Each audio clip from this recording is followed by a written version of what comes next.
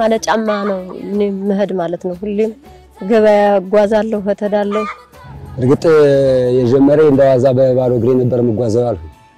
ከዚያም በኋላ እንዲህ በጭቃም በቀይ አፈር በእርሻዎች በምሎች ስንከታተል በዚያ ገፋ ገፋ እያረገ ሄደ። ከዚያም በኋላ ጫማ አረጋለሁ ብል እያቃጠ ሄደ። ዝሆኔ በሽታ ለብዙ ዓመታት በባዶ እግር ቀይ ሸክላማ አፈር አካባቢ የሚኖሩ ሰዎች ላይ የሚከሰት ከፍተኛ የእግር እብጠት ነው።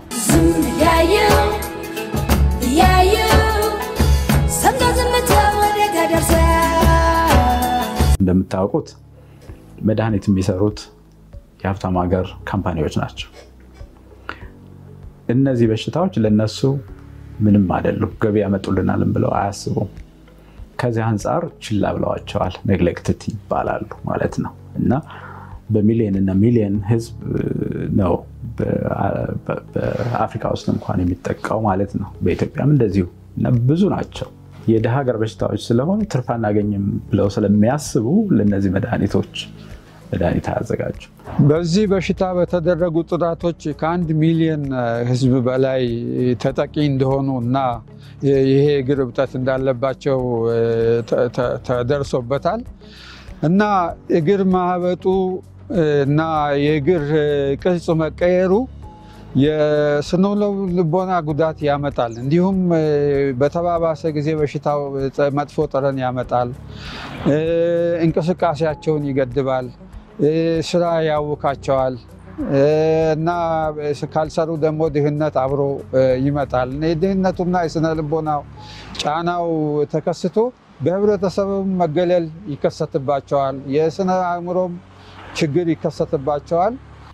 ከሰው መሀል ስብሰባም ሆነ ከዘመድ ቤትም ሰድ በቃ በጣም ቅስሜ ሲነክት ነበረ። አሁን ግን እንደ ልቦና ይኸው እንደ ሰው እንደ ሰው መሆናችንንም አስተማሩን። ከሰውም አናንስም።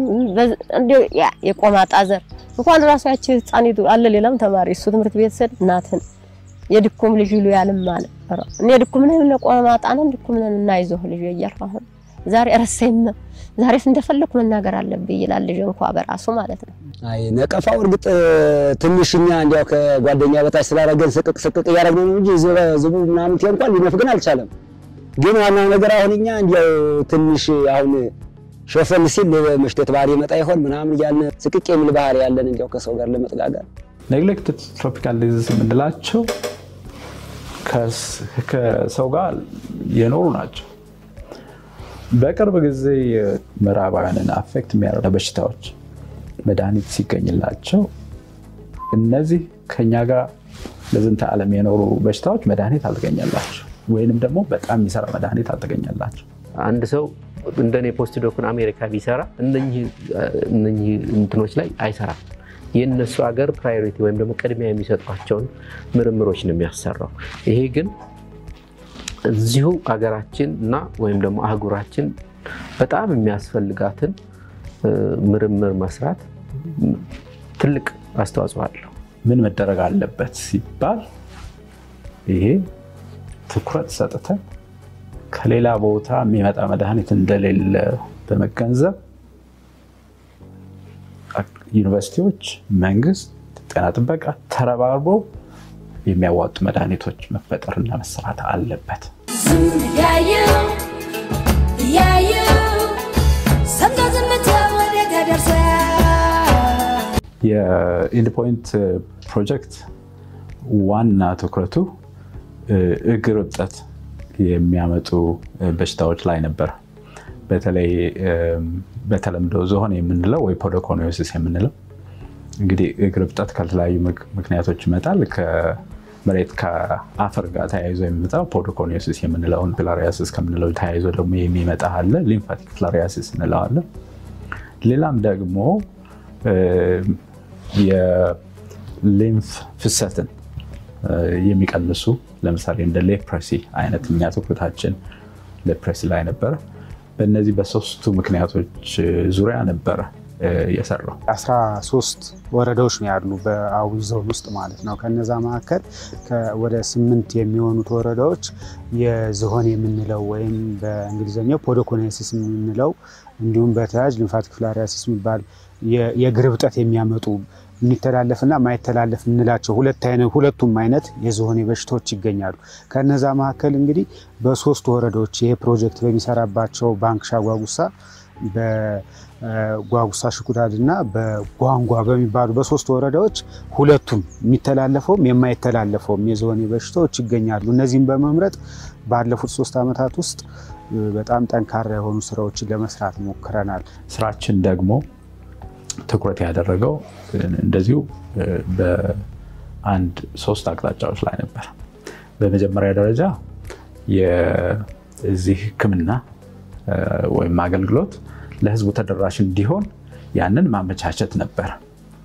ሁለተኛ ስራችን ያው ሲዲቲ አፍሪካ የተቋቋመበት ዋናው ዓላማ የሕክምና ግብዓቶችን ማፈላለግ ስለሆነ ለዚህ በሽታ መድኃኒት የሚሆኑ ነገሮችን በእኛ ሀገር ባሉ ቅጠላቅጠሎች በመመርኮዝ በዛ ላይ ሰርተናል። ሶስተኛ ደግሞ ይሄ እብጠት ከምን የመጣ ነው የሚለውን ለመለየት የሚያስችል ምርምር ማድረግ ነው። በዚህ ፕሮጀክት ከሁለት ሺህ በላይ ተጠቂዎችን አከምን በሶስት ዓመት ውስጥ ህክምናውን ስንሰጥ ግብአት ችግር እንዳይሆን ለሁለት ሺህ ሰዎች የሚሆን ስድስት መሰረታዊ ግብአቶችን አቅርበናል። ሳፋ፣ ሳሙና፣ ቫዝሊን፣ የጨው እንደ antiseptic ወይም የኢንፌክሽን ለመከላከል ደግሞ antiseptic እንደ ጨውን ነው የምንጠቀም። ጨው፣ ፎጣ፣ እነዚህን ግብአቶች ለእያንዳንዱ ታካሚ ለሁለት ሺህ ሰው የሚሆን በማቅረብ በአጠቃላይ በሶስት ወረዳዎች ውስጥ 1978 በዚህ በሽታ ተጠቂ የሆኑ ሰዎችን ማከም ችለናል ማለት ነው።?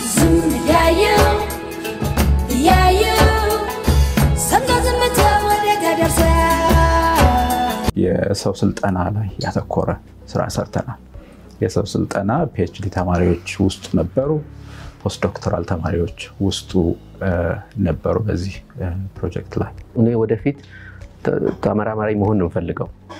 አገሬ ላይ መስራት፣ አገሬ ላይ ተመራማሪ መሆንና ዞሮ ዞሮ ሀገራችን ማደግ ስላለባት እና የኛ አእምሮም ከሀገራችን ውጭ ስለማይሆን አስተዋጽኦ ለማድረግ ብዬ ስለመጣሁ ተመራማሪ ለመሆን አንደኛው መሰረት የጣልኩበት ነው ብዬ አስባለሁ። ማንም መጥቶ የሚሰራልን የለም። ራሳችን ለሀገራችንም ይሁን ለአህጉርም የሚጠቅም ነገር ይዘን መተን የምንሰራው እኛ ነን። አሁን ባለንበት ሰዓት ማለት ነው ራሱን ችሎ የሚከታተል ባለሙያ በመመደብ ስልጠና ይህን ባለሙያ ስልጠና በመስጠት እና በተለያዩ ነገሮች ላይ እንቅስቃሴው አለ። እየተከታተልን እየታጠብን በጨው እየዘፈዘፍን ከዚያ ደግሞ ባዝሊቷ ምኗን ስንቀባት በጣም አሁን ለውጥ እያሳየ ነው። በጣም ሁላ ከፍ ከፍ ብሎ ነበር ያዋለ። ዛሬ ይኸው እናቴ ለዚህ በቅቻለሁ። ማንም ከማንም ጋር እኩል እጓዛለሁ። እንደ ጓደኞች እንደፈለኩበት እጓዛለሁ እላለሁ። ከማንም አላንስም።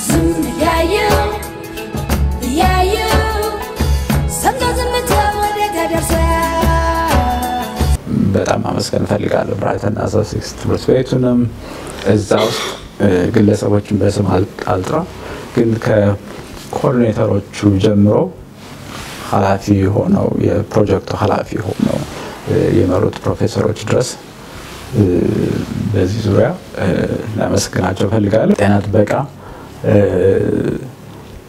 በምንፈልገው ነገር ሁሉ ሁልጊዜ ጤና ጥበቃ ይደግፈናል። ዩኒቨርሲቲያችን exceptional የሆነ ድጋፍ ይሰጠናል። ለምን ለፕሮጀክቶቻችን ብቻ ሳይሆን ለ CDT Africa ም ከፕሬዚደንቱ ጀምሮ እስከ ቫይስ ፕሬዚደንቶቹ ድረስ ኮሌጃችን እንደዚሁ ኮሌጃችን የተለያዩ ቦታዎች ያሉ ሰዎች ጋር አብረን እንሰራለን። እንደዚህ እነሱንም እግረ መንገዴን ማመስገን እፈልጋለሁ።